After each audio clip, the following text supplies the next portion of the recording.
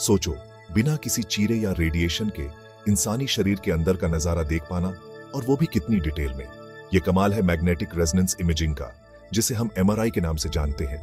Medical science में MRI ने एक तरह से क्रांति ला दी है।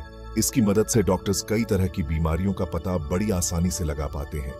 ब्रेन ट्यूमर से लेकर लिगामेंट टीयर तक एमआरआई हमारे शरीर के अंदर की चीज़ों की बारीक जानकारी देता है। अलग अलग तरह की बीमारियों के इलाज में एमआरआई डॉक्टर्स के लिए एक बहुत ही अहम उपकरण बन गया है। इससे डॉक्टर्स को मरीजों का सही इलाज तय करने और इलाज का असर देखने में मदद मिलती है। शरीर के अंदर के अंगों और टिश्यूज को इतने डिटेल में देख पाने की वजह से मरीजों का इलाज पहले से कहीं बेहतर हुआ है और अनगिनत जिंदगियाँ बच पाई हैं।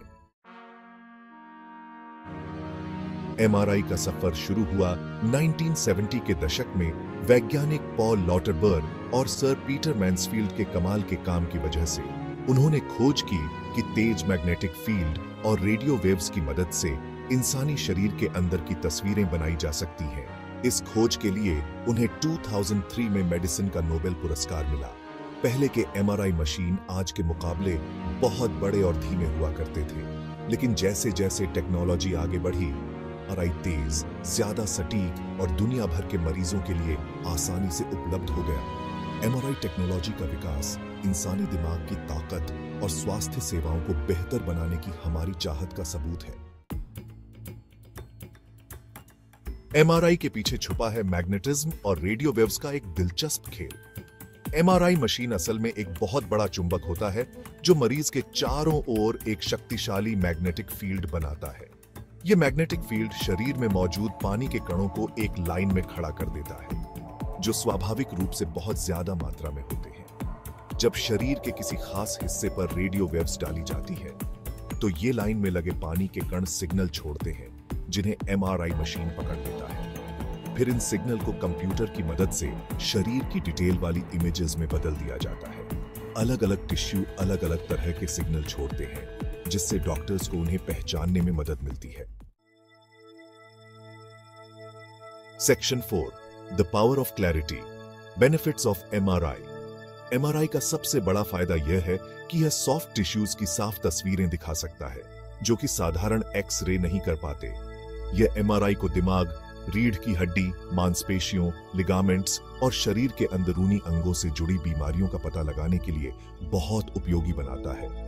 एमआरआई का एक और बड़ा फ़ायदा यह है कि इसमें आयोनाइजिंग रेडिएशन का इस्तेमाल नहीं होता, जो कि सेहत के लिए हानिकारक हो सकता है।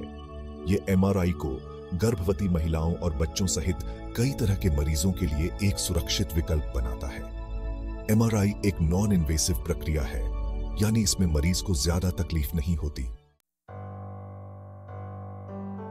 Section five addressing concerns potential drawbacks of MRI हालाँकि एमआरआई के कई फ़ायदे हैं, लेकिन कुछ नुकसान भी हैं, जिनके बारे में जानना ज़रूरी है। एक आम चिंता है क्लॉस्ट्रोफोबिया क्योंकि एमआरआई मशीन में मरीज़ को एक संकरी सुरंग जैसी जगह के अंदर लेटना पड़ता है।